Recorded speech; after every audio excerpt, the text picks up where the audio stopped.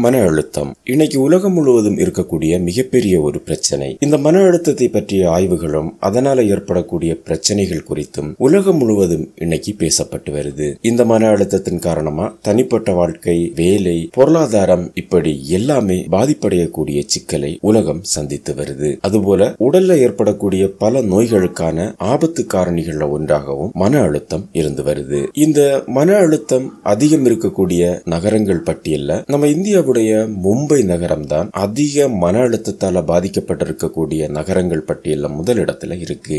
சமீபத்திய ஆய்வுகளின்படி மும்பை மாநகரில் வாழக்கூடிய மக்கள் உலகின் பெரிய நகரங்களில் வாழக்கூடிய மற்ற மக்களை விடவும் அதிக அளவு மாசுபாடு வாகன நெரிசல் சமூக ஏற்றத்தாழ்வுகளால அதிக மன அழுத்தத்தால பாதிக்கப்பட்டு மன ஆரோக்கியம் குறைவா இருப்பதா ஆய்வு சொல்லுது. அதுக்கப்புறமா நைஜீரியாவில் இருக்கக்கூடிய லாகோஸ். நைஜீரியாவில் இருக்கக்கூடிய லாகோஸ் நகரம் உலக அளவுல மன அழுத்தத்தால பாதிக்கப்பட்ட மக்கள் வாழும் நகரங்களின் பட்டியல்ல இரண்டாவது இடத்துல இருக்கு. இந்த நகரத்தில் நிலவக்கூடிய கடுமையான தண்ணீர் பற்றாக்குறை மற்றும் மக்கள் வாழ்வதற்கான இருப்பிட வசதி குறைபாடு போன்ற வாழ்வாதார பிரச்சனைகளால இங்க வாழக்கூடிய மக்கள் அதிக அளவு மன அழுத்தத்தால பாதிக்கப்பட்டிருக்காங்க. அதுக்கப்புறமா பிலிப்பைன்ஸ்ல உள்ள மணிலா.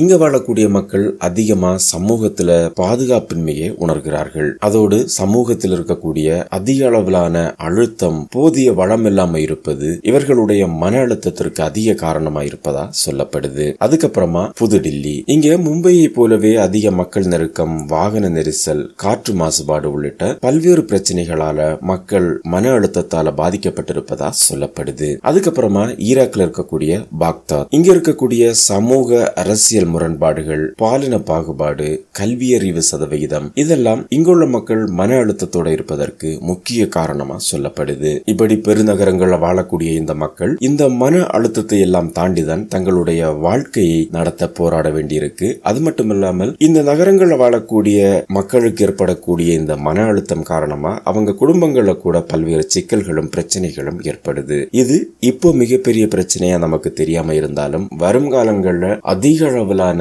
மோசமான சமூகத்திற்கு இது வழிவகுக்கும் எனவும் சொல்றாங்க. மன அழுத்தம் நம்மை பாதிப்பது மட்டுமல்லாம நம்மை சூழ்ந்திருக்கக்கூடிய சமூகத்தையும் மிக வேகமா பாதித்து வருது. வருது இதனோட பாதிப்பு மக்களுடைய வாழ்க்கையிலையும் அதிக தாக்கத்தை ஏற்படுத்துது. அதனால மன அழுத்தம் இல்லாம இருப்பது வருங்கால சந்ததியினரை நல்ல ஒரு சந்தோஷமான வாழ்க்கைக்கு இட்டு செல்லும். இதை நம்ம கவனத்துல கொள்வது நல்லது.